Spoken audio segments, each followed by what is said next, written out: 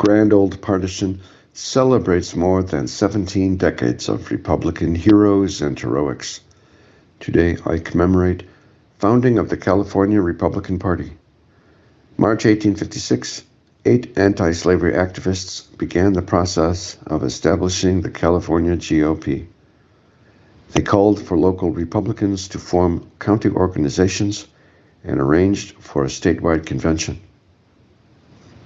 This first convention took place at a congregational church in Sacramento, April 30th, 1856.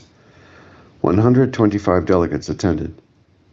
An attempt 11 days before to establish the party had been broken up by a mob of Democrats and Know Nothings. This time, freedom prevailed. Presiding over the gathering was former State Supreme Court Justice Nathaniel Bennett. Republicans elected a Central Committee and a chairman, Cornelius Cole. He later served in both houses of Congress.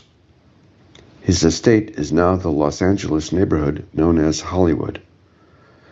The convention endorsed resolutions passed by the GOP's first national meeting in Pittsburgh two months earlier.